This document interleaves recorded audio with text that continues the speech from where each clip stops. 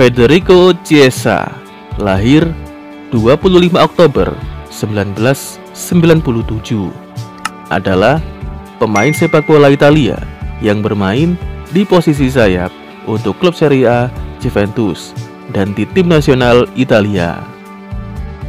Dia adalah putra dari mantan pesepak bola Enrico Chiesa. Chiesa bergabung dengan Fiorentina pada tahun 2007 di tim Primavera Fiorentina.